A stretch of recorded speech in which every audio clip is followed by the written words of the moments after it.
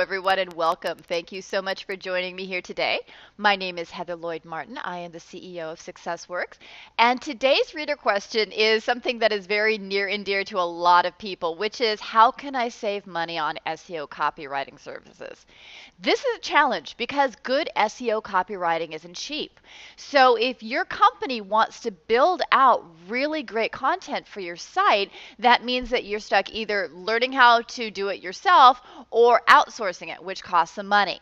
So what I wanted to address today are some ways that you can actually save money on your SEO content generation.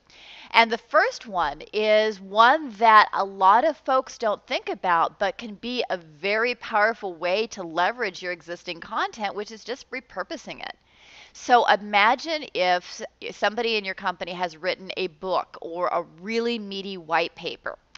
You can take that and you can start repurposing some of the content and turn it into some maybe it's some FAQ pages or some blog posts or you can pull out some tweets and start generating some tweets on Twitter.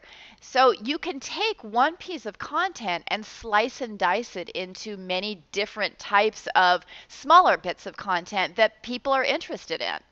So that's a really great way to do it, especially if your company has been around for a while and you have a lot of content, is to start looking back at your archives and see what you can revise and repurpose.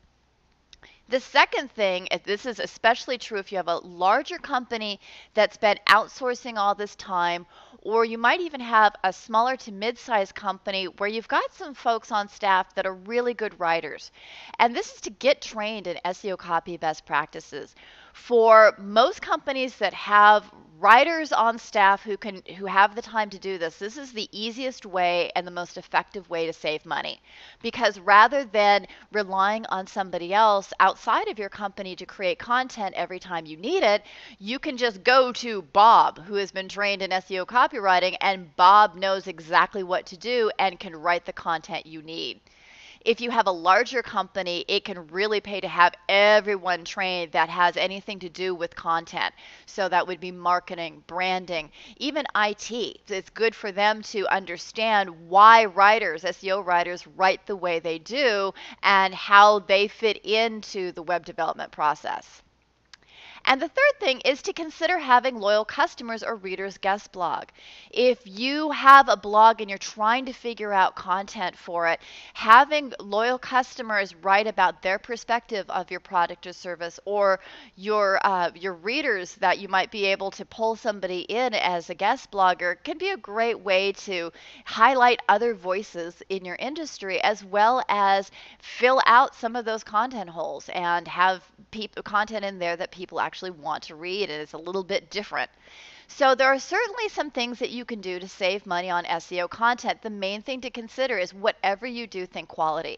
You want to make sure that the content that you place on your website or on your blog or out there in social media is something that you're proud of and that you want to point people to and show them what you've done.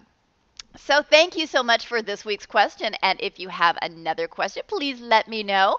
I may answer it in a future video. Uh, you can zip me your questions to Ask Heather at SEOcopywriting.com. And also, please sign up for my weekly newsletter. It is sent out every Tuesday, and you can sign up to the SEO Copywriting Buzz on my website. Thank you again, everyone. Take care and have a wonderful day.